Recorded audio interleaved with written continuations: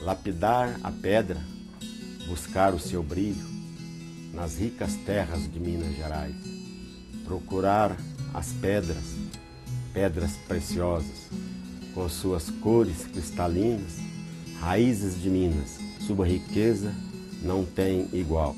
E não tem mesmo. A fonte de inspiração do poeta é a mesma de Dona Leila, a fertilidade do nosso estado. O colorido e a variedade das terras encontradas em Minas formam a receita do artesanato. Tem de frutal, tem de patrocínio, que essa e essa bege, essa daqui é daqui de Uberaba, do bairro da Baixa. E eu vejo uma, uma cor de terra diferente, eu falo, ai, para o carro, o que aconteceu? Eu falei, eu vou ali pegar um pouquinho de terra. Eu tô sempre com uma sacolinha na bolsa, tô sempre em busca da, da, da, das cores da, da natureza. E, inclusive, se você tiver uma terrinha de uma cor diferente, para trazer para mim, que eu gosto. Com elas, Dona Leila colore a massa que usa para fabricar as peças. O segredo da criação também está no carinho, da típica mineira natural de patrocínio.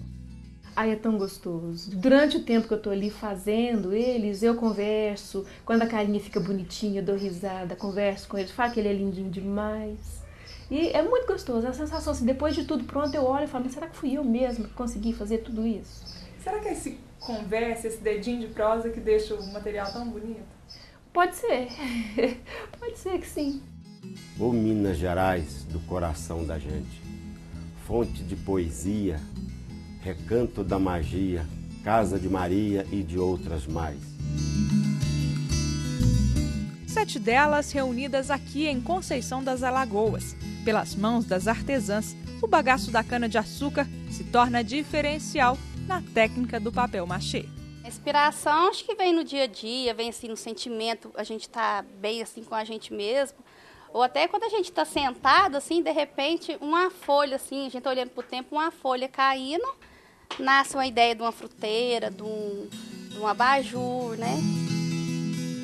No interior, o artesanato ele vem como uma tentativa de agregar um valor de pessoalidade e de tradição ao ambiente e na, também uma tentativa de resgate de uma cultura regional, sem que com isso a gente consiga um resultado final rústico.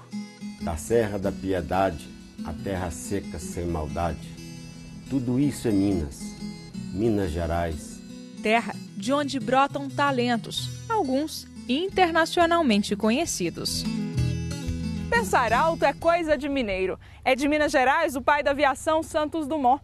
Talento também na política. O Estado conseguiu eleger o maior número de presidentes desde o início da República.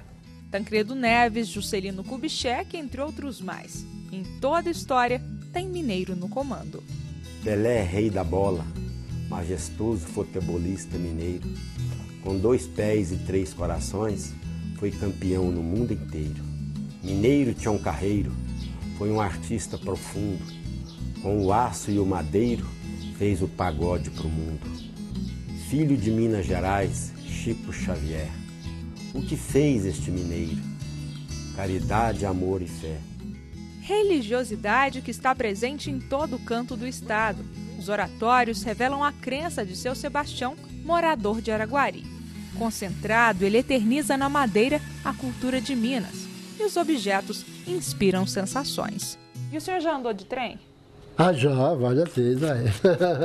E toda vez que o senhor faz um trem, o senhor imagina andando de novo? Quando estivesse andando ali na Serra de Santos, que pega um, o que vai descendo, puxa o que vai subindo. e não é só conhecer para saber fazer. A arte não tem explicação. Ah, eu acho que a gente nasce com o dom, não é? Porque então, tudo que eu penso assim, que eu olho, eu, eu faço. Ó, oh, vou fazer aquilo e tal. São vidas assim, espalhadas pelo estado, que formam a nossa cultura. Marias, Joãos, Ivos, Betinho, Ana, Carlos Drummond, patrão de Minas. São os mineiros que escrevem a história. Tudo isso é Minas, Minas Gerais. Tudo isso é Minas, Minas Gerais. Tudo isso é Minas, sentimentos gerais.